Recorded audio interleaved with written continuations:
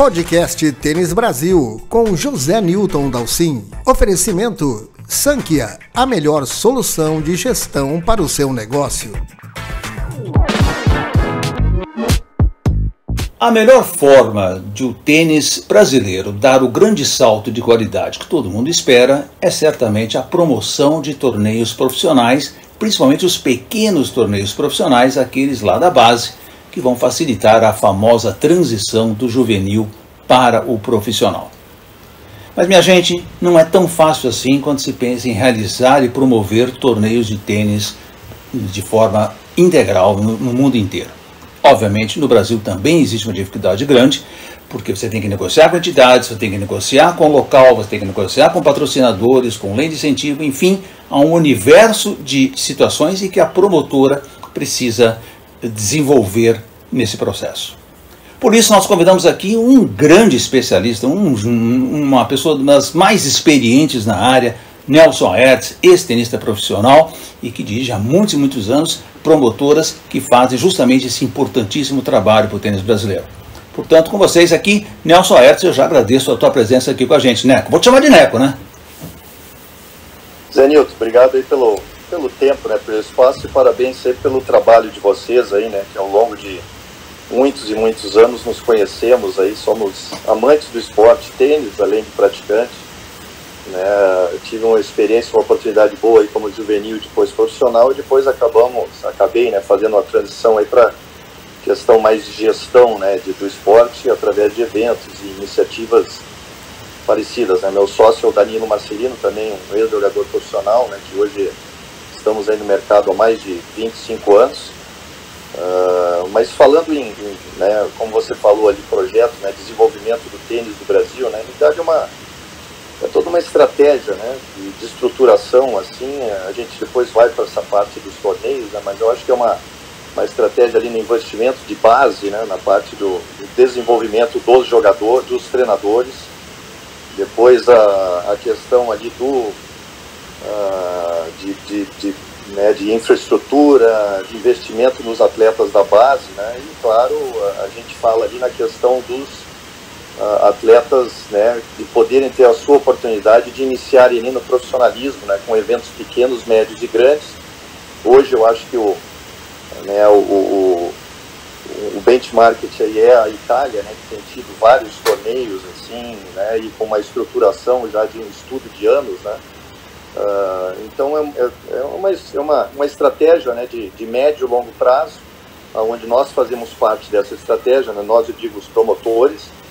Uh, eu acho que a Confederação Brasileira né, tem como, como objetivo principal assim ser a gestora né, da, da, de toda essa, essa, essa organização, né, que tem sido feito muito bem aí nos últimos anos, né, uh, tem trazido, vamos dizer, oportunidades novas de investimentos ali em, em, eventos pequenos, médios e grandes, apoios também de alguma forma, né, de, de alguns patrocinadores da Confederação Brasileira, como outros patrocinadores. Então, que eu vejo é toda uma, uma estratégia, um trabalho de médio e longo prazo, uh, e nisso a gente consegue né, dar a oportunidade ali para, principalmente aqueles que estão entrando né, no, no mercado do tênis do profissionalismo. Então, é, é mais ou menos isso a, a abertura nossa, da nossa conversa. Sem dúvida, né? Agora, para o pessoal lá em casa entender bem, quer dizer, não adianta apenas você querer fazer um campeonato. Você precisa, para começo de conversa, imagino eu, negociar com as entidades. Hoje, a, a ITF comanda os torneios menores, 15, 25 mil, 50 mil, os torneios é, que a gente chama de base, né? Enquanto a ATP trabalha e a WTA trabalham com torneios de maior porte, né? A ATP com 250, 500 e, e Masters 1000 e a WTA já começando no 125 e tal. Então, é preciso, antes de tudo, conversar com as entidades e, formar um calendário, né? Explica o pessoal como é que funciona isso, né? É, primeiro, eu acho que antes de chegar nas entidades, primeiro você tem que querer fazer o torneio, né? Você precisa entender como é que faz o torneio, você precisa ter investidores, né? E claro que daí sim falar com as entidades, né? Pode falar antes para receber as informações, etc. Uh, ah, sempre lembrando que a ITF ela é representada aqui no Brasil pela Confederação Brasileira de Tênis e pelas suas uh, regionais, né, que são as federações, então em eventos uh, através da ITF, ali, que são os WTTs, né, os antigos futures ali de 15 mil, 25 mil e um pouco maiores hoje, né, de 35 e 50, a relação toda ela é uh, iniciada através da Confederação Brasileira e suas regionais, as federações, e claro que a, a ITF é que dá o de acordo. Então isso é, é, olhando com a Confederação Brasileira, ela passa direitinho ali quais são os direitos e deveres, né, uh, as necessidades que existem ali referente à premiação, a atuação dos árbitros, necessidades dos árbitros, Uh, e do outro lado também tem as ligas, né, como a gente chama ali, que é a ATP e a, e a, e a WTA, que são eventos ali de, uma, né, de, um, de um porte um pouco maior de investimentos. Então, é, é, quem quer saber, assim, tem que se informar, né, tem que pegar as informações, é claro que vir com uma, uma vontade de fazer, olha, eu quero fazer, ou entender como é que faz um torneio Challenger, ou torneio uh, né, ATP Tour, né, como tem aí o Rio Open, né, então é, tem que entender o mercado, mais ou menos quantificar o que, que é isso uh, e conversar com as entidades para depois né, ver se é possível ou não uh, trazer esses investimentos e como também né, fazer como negócio isso aí caso seja uma empresa né, que tenha que queira ter seus benefícios e seus lucros também. Uh, no caso da ITF, Neco, existem um, um, algumas restrições, vamos dizer assim, algumas colocações que a ITF faz é, que os campeonatos não sejam isolados, eles têm que ser, tem que haver uma sequência regional. Essa, essa regra permanece ainda, né? Ela permanece, né? E de novo, né? A, a entidade organizadora e que tem ajudado muito isso, né? Não só pela pela ITF também, né? Mas o, o Rafael Vestrup ali tem, acho que há dois anos atrás ele teve uma reunião com as entidades, né? Vamos dizer a ITF, no qual ele representa, né? Hoje até vice-presidente mundial. Uh, mas ele trouxe aqui para conversar junto à ATP e WTA onde criamos uma, mais ou menos assim, uma estratégia, uma organização futura, né, dos anos futuros ali, como é que as promotoras, como é que as federações, como é que as entidades mais ou menos se falam e se façam, né, se construam uma estratégia aonde se consigam ali ciclos ali de torneios em seguida. Que isso ajuda muito né, na questão de divisão né, de custos ali referente operacionais de viagens de uh, árbitros, viagens também de atletas, né, investidores ali, cria um nicho maior né, de acompanhamento também do esporte. Uh, e também né, a, a questão ali de os atletas poderem já fazer uma programação para o, o ano seguinte ou o semestre seguinte muito mais organizado. Uh, e isso tem funcionado bem, né? Claro que isso aí tudo demanda tempo, né? Mas a gente tem orquestrado isso aí, tem acontecido melhor. Né? Eu eu não consigo dizer mais exatamente o que está acontecendo esse, no Brasil, mas eu acredito que tem um, tenhamos quase 30 torneios por ano já, que é um número grande, né? Desde um ATP 500 lá, que é o do Rio de Janeiro, como vários challengers, como vários uh, ah, ITFs ali de 15, 25 mil, né? E, e também um número grande já de torneios femininos também, que eram bem menores. Né? Então está tendo um movimento muito bom, muito organizado, né, no qual eu acredito assim daqui 3, 4, 5 anos vai estar num, num nível bem comparado aí a, a, a países que estão né, que estão na frente aí, por mais que o Brasil já está muito próximo à, própria Itália. Sem dúvida, né? Você viveu bem aquela época áurea do tênis ali, que nós temos assim uma série absurda de campeonatos do Brasil. Nós tínhamos pô, 38 semanas de eventos, né? Alguns torneios muito grandes, tínhamos os famosos Grand Prix, que hoje seriam os ATPs. Nós só tivemos um, um calendário muito forte, né? né? Eu acho que o, o Brasil é bem respeitado lá fora nesse aspecto, né? Sim, muito respeitado, né? Eu acho que agora voltou de novo, né? É, tanto na parte política, né? De gestão política, penetração brasileira aí com a liderança né, do, do, do, Rafael Vestrup como outros, né, está muito bem posicionada lá em questão lá de ITF também dos Grand Slams, na questão de qualidade dos eventos, né, eh, são vários eventos que são reconhecidos ali pela ATP, WTA, como eventos de altíssima qualidade, uh, e também no, no volume. Né. Hoje a gente tem tido uma escala muito boa de volume de, de torneios, né, onde permite até uh, né, os jovens profissionais aí que estão cada vez mais profissionalizando mais cedo, né, a terem essa primeira inserção aí, essa primeira experiência no torneio, em torneios profissionais aqui mesmo em casa. Isso ajuda muito, né, fazer seus pontos uh, iniciais, entender né, a dificuldade, o que, que é o, o caminho profissional. Acho que isso aí tem, tem proporcionado né, resultados muito interessantes E, e de novo, né, acho que daqui 3, 4, 5 anos teremos grandes uh, né, jogadores aí performando mais. Né? Hoje a Bia Haddad está puxando muito essa turma né, com, com, motivação e resultados grandes. Né? Aí também tem Thiago Monteiro, Felipe Medigene, Gustavo Eide, né? e tem esse, esse jovem, o, o João Fonseca, que é um jogador muito diferenciado ali, né? além da sua qualidade de jogo, como também de postura, né? De, então acho que tudo isso aí tem ajudado muito ali a Pigossi, né? A Luiz Stefani, então tem tudo, a gente tem desde medalhista já olímpico, né? Então tem um envolvimento todo, né? Que tem uh, trazido ali um, né? um, um interesse maior ainda. Né? Você também aí na cobertura né? de anos e anos sempre apoiando, né? fazendo milagre né? com a iniciativa da Tênis Brasil e e, mas sempre apoiando e divulgando né, os, né, os, até achei uma matéria bem interessante a questão lá das quadras públicas do Brasil, né, que é um, um movimento que a gente tem que olhar com mais atenção, né? Então acho que tem uma, tem uma estratégia, uma estrutura muito boa, né? uma organização ali da, da, da confederação, a preocupação né? no crescimento. E eu acho que estamos no caminho certo termos de custo, né? Como é que, quanto custa fazer um campeonato? Vamos dizer, um campeonato de 15, sim, 25 mil dólares, né? Quer dizer, 15 mil dólares é a premiação, né? Mas tem enormes, uh, vários custos envolvidos. Dá uma ideia para o pessoal lá em casa de quanto custa isso? Se, uh, três, quatro vezes mais do que a premiação? Como é, como é que se calcula mais ou menos essa, essa tarefa? É, é mais ou menos isso aí, de três a cinco vezes mais, né? Isso eu digo no custo básico ali, né? E aí depois o que, que acontece? Aí depende muito da, de tudo que você quer oferecer a mais né, para os investidores, para o patrocinador, que de vez em quando não é só o evento em si, né, não é só o apoio ao esporte, não é só ali o, a oportunidade para que os atletas se, com, né, façam sua competição e ganhem seus pontos. Existe a parte de relacionamento, né, de retorno de mídia, de retorno de, de negócios, né, uh, no qual isso cria-se a, a, oportunidade da, da, da, sustentabilidade, da longevidade do evento e do interesse dos investidores.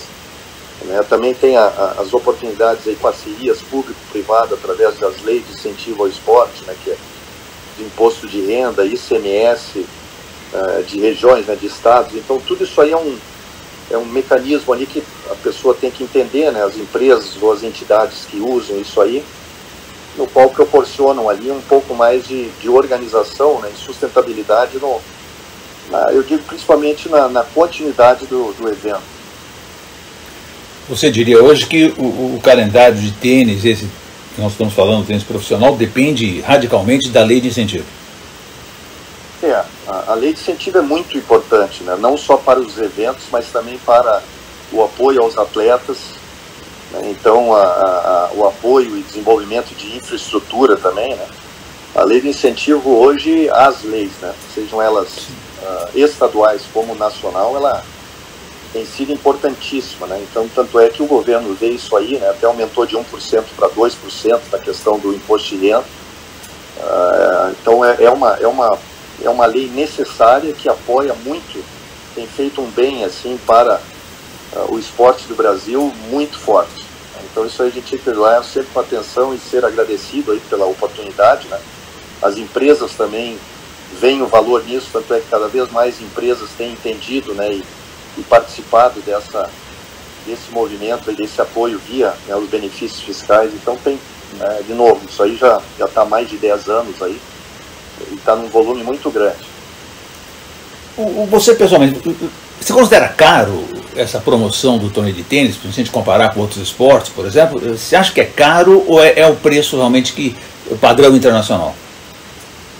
Não, ele é, né, os valores são necessários, assim, investimento, né, eu diria, que é, é, é um padrão ali internacional, né, é o padrão necessário existido, senão, de novo, é, não é só você fazer um evento, né, na realidade você tem que fazer o evento, que ter a capacidade de fazer o evento, mas principalmente olhar no médio e longo prazo. Né? Como é que você faz o evento, você vem para para ele ficar e como é que você tem a, a, sustentabilidade, o que que cria isso, o que que faz que né, as empresas olhem isso aí com um ponto positivo né, e que isso permaneça ali com, como uma agenda né, anual. e ao mesmo tempo o governo também acompanhando ali os benefícios que são uh, apoiados ali, né, a parte que cabe ao governo, a parte que cabe às regras da, uh, das leis ali. Então é, é, um, é uma equação que tem que ser muito bem organizada, vista no curto prazo, mas principalmente no médio e longo prazo. Mas o, os valores, eh, eles são assim, né, o, o esporte, uh, são esportes que demandam né, investimentos bem interessantes, assim, investimentos fortes ali, então é, é, mas eu não dizia que é caro, não, é o, é o preço que, que é cotado aqui, como é no exterior também. Verdade. Eu, eu acho até que a, a, esta nova fase que nós vivemos da, das mídias digitais, do, do, dos sites, né, isso, acho que isso ajudou muito o tênis, né, né, porque você viveu bem o período em que a gente dependia muito da televisão para mostrar o tênis. Né? Os promotores compravam muito o, o espaço da televisão, até hoje compram, obviamente que precisa passar, porque é uma necessidade perante o, o, o, o seu patrocinador, os seus investidores, mas acho que a, a, a, questão digital ajudou muito, né? Porque hoje você consegue divulgar melhor o trabalho em vários segmentos, até às vezes fora do tênis. Acho que isso também ganhou um, um patamar diferente, né? Ah, ganhou uma amplitude bem maior, né? Com um custo mais reduzido, né? Então você tem uma amplitude maior, capilarização grande, né? Ah, eu acho que também, ah, além do atleta ali, né? Que também teve o seu espaço maior, ah, fazendo conteúdos, etc., uh, os eventos também, né, eles têm chegado ali, a gente consegue nichar um pouco mais e chegar naquele seguidor, né, naquele cliente que quer acompanhar, que valoriza mais, né, tanto de ter a, a mensagem para todos, mas depois você tem um acompanhamento uh, individual ou daqueles grupos ali que, que seguem que antes tinham um pouco mais de dificuldade. Né. A ITF anunciou aí um aumento para 2025, vão modificar um pouquinho, um pouquinho não, bastante, né? Os torneios, elevar a premiação dos torneios menores e tal. Isso vai trazer algum, algum impacto para o promotor, né? Já deu pra, tempo para dar uma estudada nisso? É, isso sempre traz um pouco mais de impacto, né? Mas na verdade é, um, é sempre um olhar ali, né? De, acho que a gente sempre tem desafios, né? Na questão ali de... Uh, acompanhar né, os custos extras que sobem, não só pela necessidade e a demanda, né, a, a ITF olha muito para os, os, atletas, né, como também olha a BP e WTA, uh, claro que olha também para os promotores, mas tem sempre uma negociação e, e a gente, né, todo mundo puxa a régua para cima. Né, a demanda ali do, do, do, investimento, né, do próprio retorno do atleta que, que compete ao longo do ano, precisa ter um, um benefício maior, aí os desafios ali dos investidores tem que trazer um pouco mais de capital, um pouco mais de investimento. É sempre aquele, né? Mas eu acho que anunciando com o tempo, né, como está sendo feito aí de julho, agosto, assim, né, sempre tem uma, uma margem, uma oportunidade melhor para conversar com os investidores e, e, e, ter sucesso nessa questão de, de poder ter uma organização mais, mais clara ali, né, com, e mais, eh, vamos dizer, mais balanceada para o próximo ano. Né, você também jogou bastante tênis uh, naquele período uh, bem mais difícil para o tenista, né? Que uh, tinha que pagar conta, né? Tem o tenista, principalmente o tenista do, do, ranking mais baixo, do ranking inferior, ele tem que viajar, ele tem que às vezes custear um técnico, ele tem que montar um calendário, joga torneios pequenos, com premiações pequenas, é muito difícil essa sobrevivência no circuito, né? Essa, aquela realidade que a gente tinha de que só os 150 primeiros do ranking realmente ganham dinheiro. Você acha que isso permanece é, dentro do, desse bojo todo? É, ela está muito parecida, né? Até, na realidade a demanda né, aumentou muito, né? A, a prática do esporte aumentou muito o número de, de jogadores ali disputando, né? Essas vagas ali, né? Então o investimento ele é bem maior, ele começa bem mais cedo você vê jovens aí com 14, 15 anos já jogando profissional, né? Além de fazer toda a formação viajando com um treinador, mais um preparador físico, claro que eles se dividem em grupos, né? O investimento, então, é, eu diria que está muito parecido e até o, o desafio é maior. Ah, é? Pela, pela, é, é maior, é maior. Né? Antes era um pouco mais, todos os custos eram menores, por mais que a gente não tinha muita ideia, né? Uhum. Do que era o futuro, assim, era mais a gente ia no, no achismo ali, na, no risco e no sonho, e, né, que também era arriscado e tudo ali, mas hoje o investi quem não tem estrutura e não tem investimento é muito difícil, muito difícil acontecer, não, praticamente impossível. Então é por isso que as organizações, assim, né, os projetos, a, o apoio né, da entidade, da CDP e das federações e, empresas e projetos que tem hoje, né, de desenvolvimento ao esporte aí aqui no Brasil tem aí várias iniciativas ali, né, o Rede Tênis Brasil, a Tênis Root, o Instituto Ícaro, né, vários outros aqui que eu não estou ah, não, tô lembrando o nome, mas tem já iniciativas que têm uma organização muito boa e que proporcionam isso, né, para investimentos além dos clubes, né, uh, que têm investido aí, a gente vê uh, né, que buscam, né, buscam também um meio, uma forma de como apoiar seus atletas dentro do possível.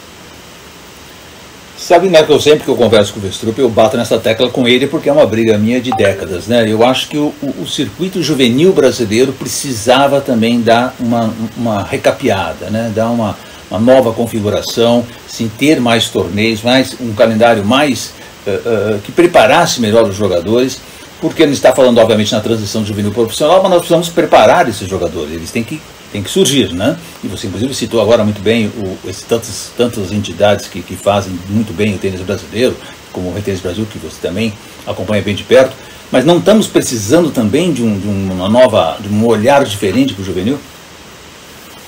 Sim, isso sem dúvida. Né? Precisa ter um, um, um investimento grande né? nos, nos infantes juvenis, fazer parcerias grandes com clubes, né? que são ali a base, né, que são os estruturadores além dos projetos, mas o, no meu ver, assim, é, é não dá para fazer tudo ao mesmo tempo.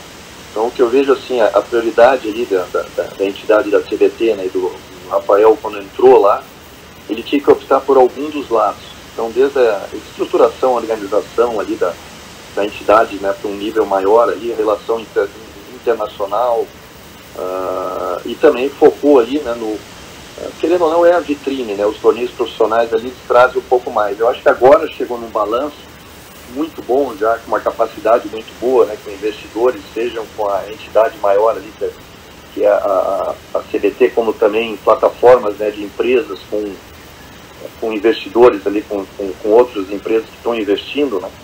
Eu acho que chegou num momento assim de eu acredito eu que nesse próximo ano, daqui dois, três anos, o, o investimento será olhado para a base para que aqueles, né, em 4, 5 anos, tenham jogadores ali como, que venham né, com uma formação muito bem feita, muito bem desenvolvida e que poderão usufruir dessa de toda essa plataforma que está sendo montada aqui no Brasil, né, e também já com relações internacionais bem asfaltadas, assim, bem integradas.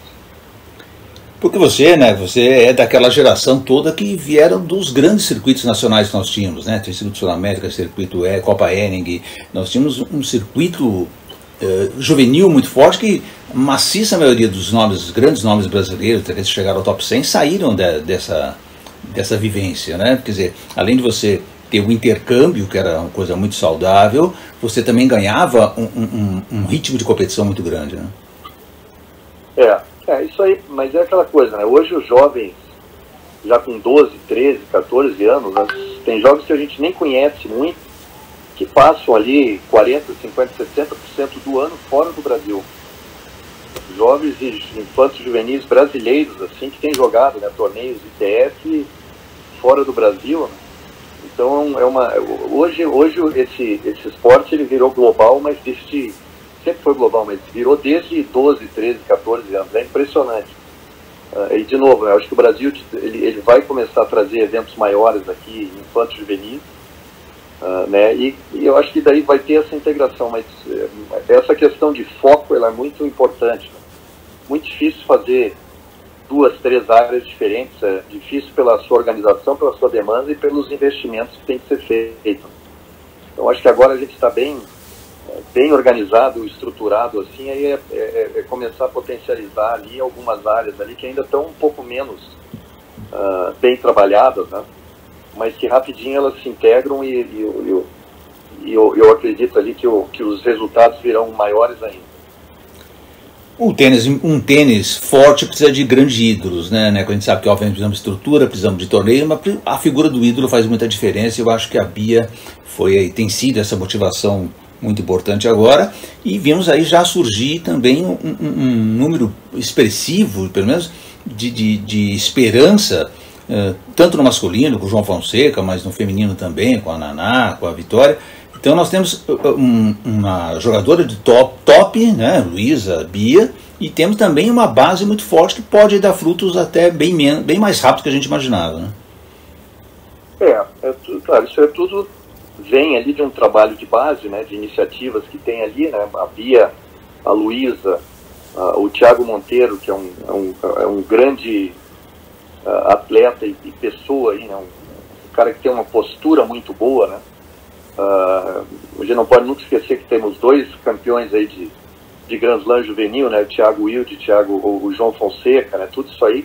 E aí vem o Ananá, né, vem o Guto, vem a, a, nós temos uma experiência internacional, né, na questão da Vitória Barros, né, que estava aqui, estava treinando aqui, tem essa oportunidade de estar treinando na França, junto a um dos grandes treinadores do mundo. Então, tudo isso aí a gente vai uh, organizando, tendo experiências, né?